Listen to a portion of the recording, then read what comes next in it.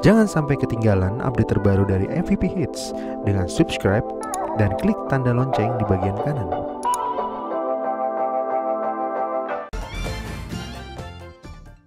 Udah cerai lagi. Mana perut lagi hamil begini lagi. Loh, emangnya itu hamil? Kirain tante. Maaf ya, kirain tadi lu cacingan. Heh, Tante Misha, jangan begitu dong. Ini kita hamil dalamnya anak.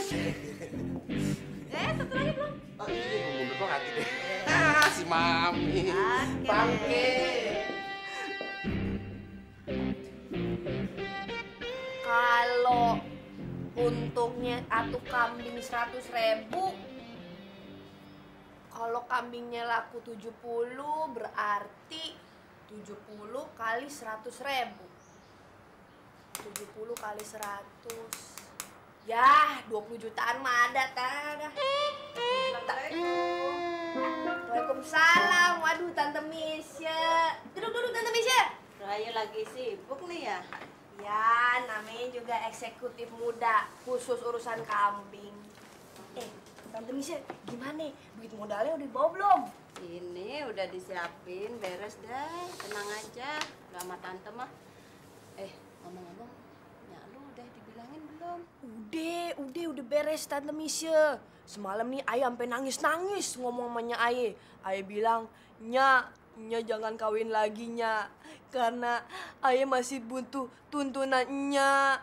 Eh, Nya bilang, emang lu kebo masih dituntun-tuntun. Begitu. Terus Ayah bilang lagi, pokoknya kalau Nya kawin, Ayah mau bunuh diri. Eh, Nya Ayah bilang, ya udah bunuh diri aja lu sekarang. No, udah ada talinya. Begitu.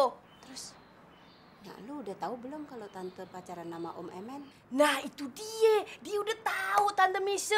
Makanya katanya, wah berarti gue mesti bersaing untuk mendapatkan Om Amen. Makanya sekarang dia lagi ke salon, dandan habis buat menarik perhatiannya Om Amen. Dia pasti tampil beda nih Tante Mise. Ya udah, gini aja Tante Mise tunggu aja di sini ya. Ntar nih bentar lagi Nyai juga balik. Nih Ayah mau ke rumah Bang Aimen dulu, mau ngajak tuh pengangguran atuh buat kerja sama biar dia ada kerjaan gitu dikit-dikit. Masalahnya Ayah masih kurang nih dalam hitung berhitung. Kadang-kadang lima kali enam aja susah banget ngitungnya lama banget dah. Ya, dah siap nih. Assalamualaikum Tante Mesya. Wah, anak udah dimodalin juga bukannya lagi.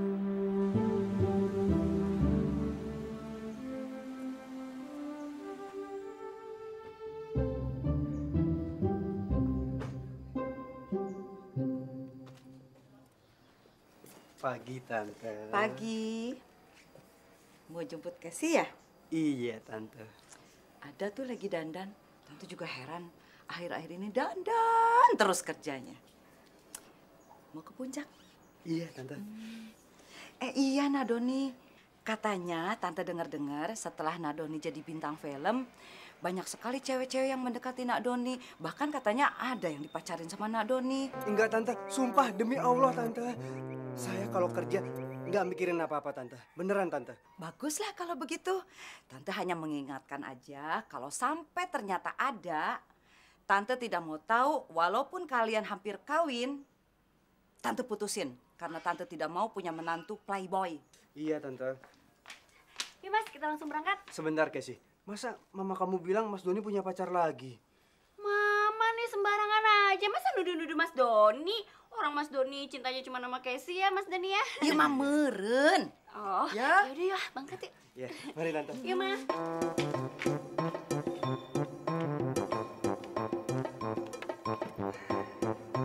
Kok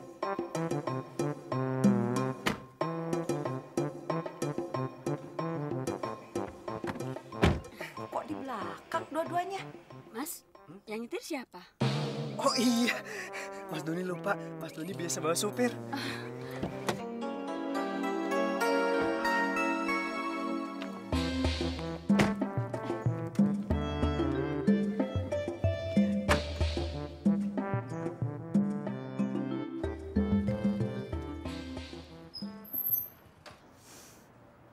Apaan tuh? Dandanan kayak undel-undel gitu.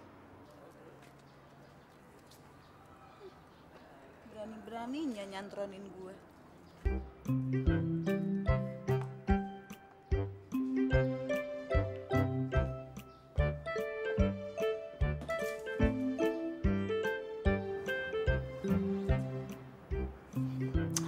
Lo nggak ngeliat dandanan gue habis dari salon? Rambut gue aja sampai meninggal-meninggal gini. gue cuma mau ngingetin aja sama lo ya. Lo jangan coba-coba deh saingan sama gue. Kalau Amen sampai ngelihat dandanan gue seperti ini, dia pasti akan mutusin lo. Dia pasti milih gue. Dia pasti akan kelepak-kelepak jatuh cinta sama gue. Lo akan nangis-nangis, kesian deh. Dasar kampungan. Baru dari salon pinggiran murahan gitu aja udah sok. Lu perlu tahu ya. Salon gue tuh di Singapura. Eh, kesian deh lo. Eh, tahu nggak lo? Singapura itu tempat belanja-belanja sama tempat shopping. Mana ada salon? Udik lo. Kata luar negeri. Payah ngomong sama orang udik. Gak level. Duh, tuh kata-kata. Ketahuan banget sih lo kalah bersaing. Tuh mulut jadi lupa kalau nggak disekolahin ya. Eh, tahu nggak gak sih lo? Itu si Amen setiap pagi dia nongkrongnya di sini, selalu datang sini nyamperin gue. Dia tuh tergila-gila sama gue. Nggak salah tuh. Amen bilang katanya lu yang nisan-nisan nyariin dia. Sampai lu nyamper-nyamperin dia. Dia bilang sampai cicing ngeliat lo. Amen ngomong begitu? Iya. Eh, dia juga ngomongin lo. Dia bilang ibu Mise itu untuk kaya. Kalau nggak kaya, udah bego, bodoh, tolol. Ih, Masa sih dia ngomong begitu? emang bener ngapain gue bohong? Kalau dibilang tolol dan goblok, gue juga sakit hati juga. Eh, mendingan kita nggak usah sayang-sayangan deh. Kita baik-baikan. Dari awal juga gue udah tahu tuh laki-laki nggak bener. Nah, lu aja tuh pakai nyokok rohai. Lu bilang gue mesti mundur, iya kan? Iya juga sih. Bu Mise silakan duduk deh.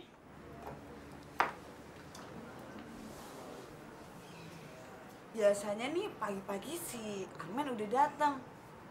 Tapi ini udah siang. Iya, kalau siang dia biasanya ke tempat gue sampai malam lagi kalau di sana.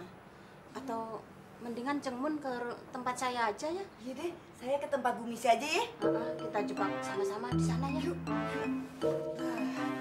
Hmm, ya, udah mulai males sekarang. Tuh lihat, tiduran lagi, tiduran lagi. Gilirannya aku ayo lagi, ayo lagi. Nah.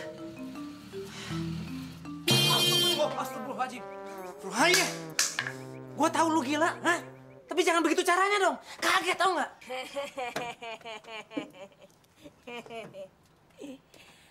Maafin dah Bang Aimin, namanya juga baru bisa nyetir. Ayo lupa yang mana gas, mana rem.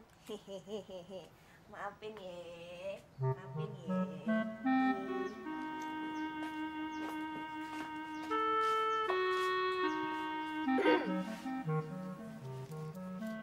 Nih, ada apa lagi nih? Bang Aimin pasti kagak mau kan ngelihat pala ayah botak lagi, ayah jadi preman pasar lagi, ya kan? Kagak ada urusan. Mau lu jadi hantu juga gue nggak mau tahu. Bodoh amat. Yang penting buat gue, lu jangan buat perkawinan jadi main-main, Rohaye. Sebentar lu minta cerai, terus rujuk lagi, cerai lagi. Kagak boleh, dosanya gede, segede perut lu. Tahu? Nah, itu salah satu yang ayah mau rundingin. Tapi ntar aja. Maksud utama ayah datang ke sini, ayah mau minta tolong sama Bang Aimin buat bantuin ayah jadi bandar kambing. Kalau Bang Aimin kagak mau bantuin ayah, ayah mau jadi hantu. Seperti permintaan Bang Aimin. Hm, Ih, kok sama gue? Sama laki lu aja rundingin tuh soal bandar kambing. kakak bisa. Gak bisa kenapa? Ayah udah cerai. Hah? Cerai lagi? Bukannya lu terakhir gue liat lu mesra-mesraan sama si Ongki? Nah, itu dia. Dua langkah Bang Aimin beranjak, ayah cerai. Ayo lo. Rohaya lu bener-bener. Gue udah bilang kau itu jangan bikin main-main. Lu tetap bikin main-main juga. Ayo sini, ikut gue. Masuk, mobil.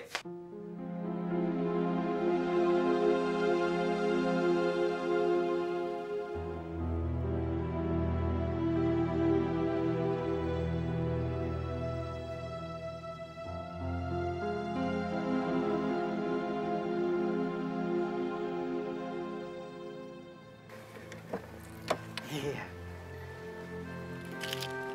Gimana? Wah. Bagus ya mas villanya. Ya, nanti kalau kita udah kawin, ini akan jadi milik kamu. Ya?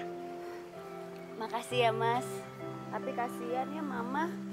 Mama nggak punya villa. Ya, kalau mama kamu minta sama papa kamu dong. Masa minta sama Mas Doni? Bener juga kata mama. Kalau mantu nanti udah dapet yang dia mau pasti pelit sama mertuanya. Bukannya pelit. Tapi kan mama kamu itu tanggung jawab papa kamu. Tapi kamu jangan khawatir. Nanti Mas Doni kasih bulanan buat mama. Ya, semacam uang rokok.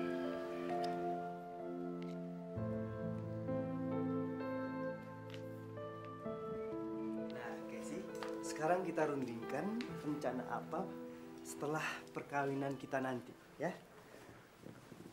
Oh, mas berlian sama emas yang seserahan dari mas Doni diambil semuanya sama mama. Kayaknya nggak kebagian deh. Udah, nggak apa-apa. Nanti kamu Mas Doni beliin. Ya?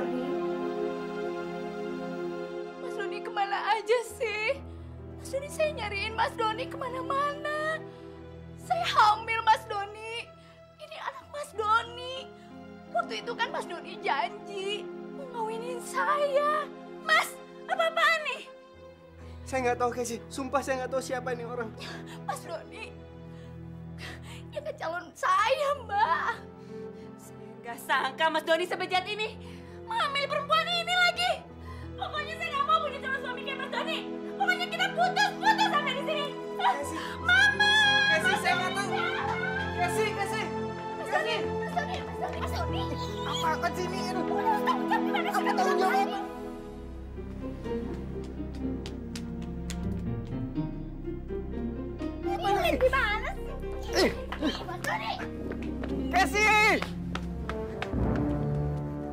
Casey!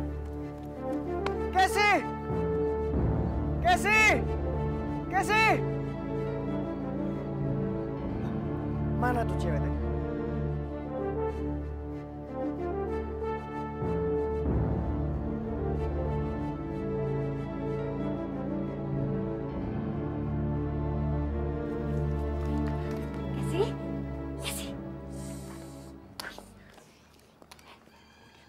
Semuanya. Sekarang kita cabut yuk. Yuk dong, terus dulu.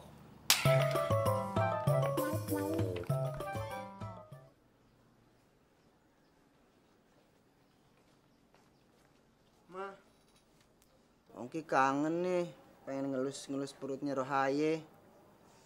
Mendingan mama bikin pansus deh buat nyadarin Rohaye supaya nggak nyerein Ongki. Duh, Ongki, pusing mama kalau kayak begini ngurusin kalian. Sebentar rujuk, sebentar cerai, sebentar rujuk, sebentar cerai. Mama nih tahu nggak? Ada urusan yang lebih penting, tahu nggak?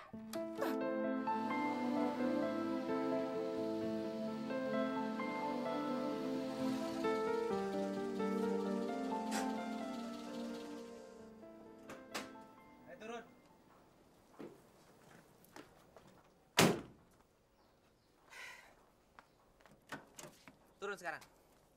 Ayo. Oke.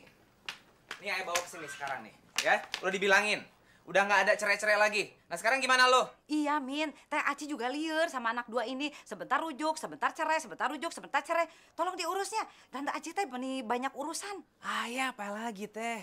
Udah capek-capek ngurusin surat cerai. Eh, tahunya balik lagi, balik lagi. Udah atur aja, Min. Ah, pusing.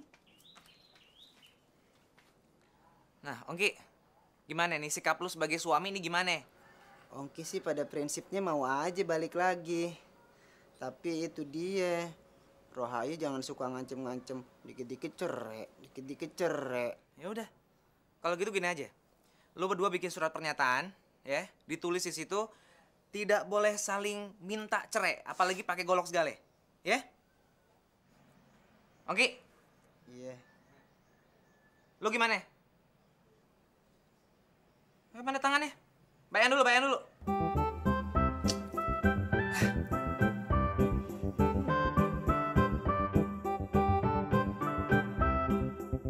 Jangan sampai ketinggalan update terbaru dari MVP Hits dengan subscribe dan klik tanda lonceng di bagian kanan.